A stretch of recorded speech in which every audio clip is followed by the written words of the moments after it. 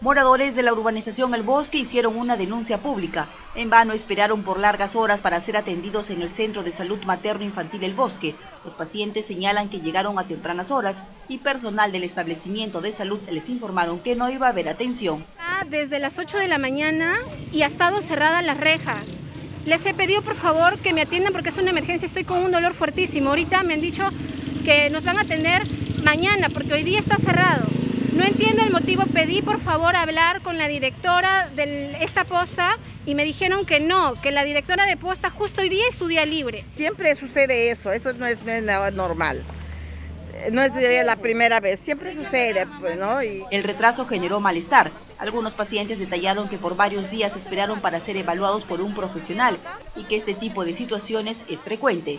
Intentamos tomar la versión de la directora de dicho establecimiento, pero nos informaron que estaba en su día libre. Dice que no le han comunicado nada al doctor.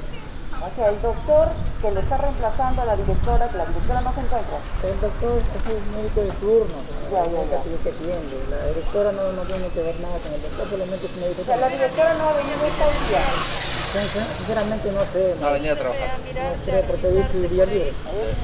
Pero igual. Eso no me parece justo, que nos hagan venir por las puras, formar nuestra cola y a las finales que nos manden a nuestra casa.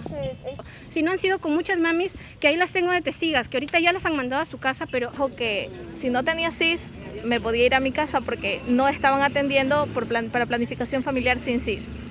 Piden en cosas que ya no es necesario utilizarla. Mi hija ha dado luz recién ayer en la mañana y ahorita me están pidiendo el papel, las bolsas y eso no es justo también. Como se sabe, los establecimientos de salud ya están habilitados para la atención de pacientes con otras enfermedades ajenas al coronavirus, por lo que esperamos que se cumplan con estas atenciones diarias.